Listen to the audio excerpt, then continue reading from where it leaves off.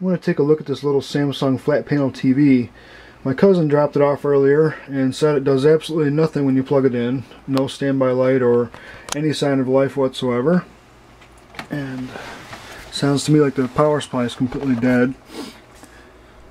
Let's see, what is this? A model LN19A450C1D made in September 2008 and it's definitely not an LED backlight. It's just a conventional fluorescent backlight.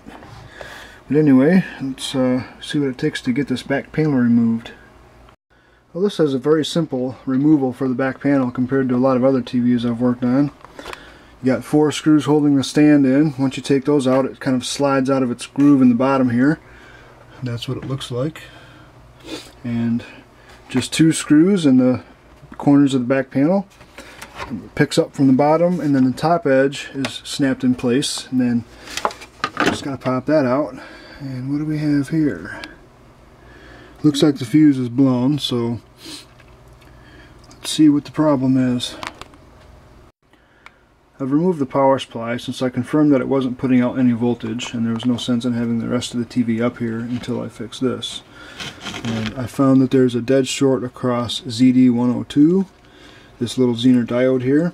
And I'm really suspecting that IC101, the chip on this heatsink, is the actual problem because this is the main switching IC that handles all the current for this TV. It drives this transformer and then that generates the 14.5 volts through this rectifier here and these filter caps to run the rest of the TV.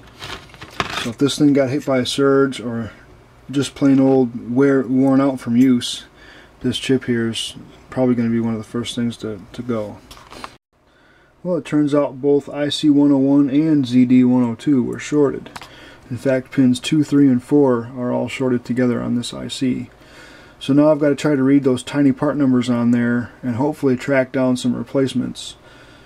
Uh, I don't know if Mouser Electronics is going to carry something like this or if I'm going to have to look elsewhere because I'm not really familiar with these chips. It's made by Fairchild, I can tell that much. But I'm going to have to get my magnifying glass and see what's written on here. Well, I got the approval to do the repair and found the parts I needed at DigiKey Electronics. I haven't ordered from them in a long time because I usually use Mouser, mainly because the website is a little easier for me to deal with and they tend to have a little bit lower prices on certain capacitors that I use, but DigiKey has a lot of stuff that Mouser doesn't have, and these Fairchild uh, switching ICs was, were one example. But this is a FSDM 07652R. It's a nice long part number on that one.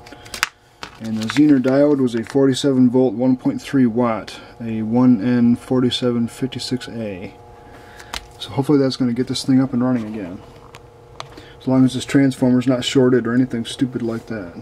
I really hope it isn't. So far so good. I've got those parts installed and I also ended up replacing this 47 microfarad 50 volt capacitor that was right here. I used a Nichicon PW series. I just wanted to make sure that that wasn't one of the reasons the chip had gone bad even though the cap tested okay. But I powered it up through the current limiting light bulb just for safety's sake and got 14.7 volts DC at the output. So I think we're good to put this back in the TV. Captain, we are cleared for takeoff.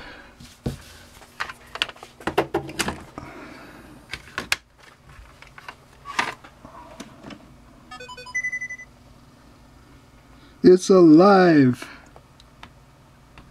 Alright, we put the back cover back on this thing and install the stand so I can actually sit this thing up and test it. Looks promising so far.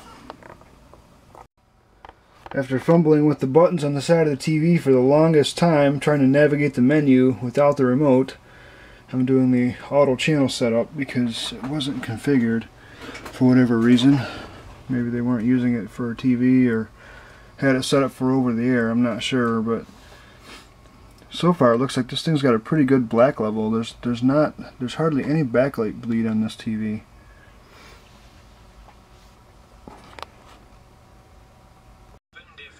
Oh, it's working great so far. I've got it hooked up to my cable, and I'm, I'm pretty sure this is a HD channel, actually. So, I don't know for sure because I don't normally watch TV. I don't even have a TV hooked up down here because I mainly just have cable for the uh, high-speed internet and nothing more. But it looks good on here nonetheless. I'm just going to let this run for a while make sure it's stable and I'll call this done.